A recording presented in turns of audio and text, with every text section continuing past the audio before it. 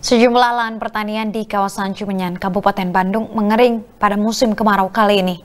Petani yang sebelumnya menanam cabai dan bawang kini beralih menanam palawija seperti jagung dan kacang.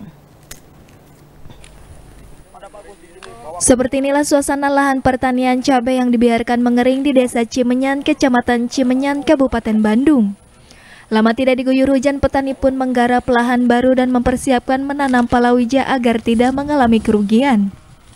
Sebelumnya di lahan tersebut ditanami cabai dan bawang.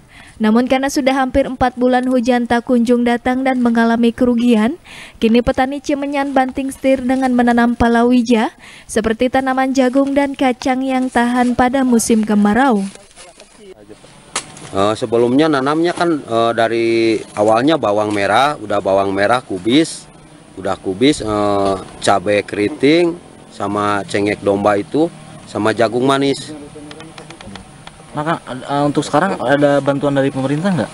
Uh, sekarang belum, belum, udah lama.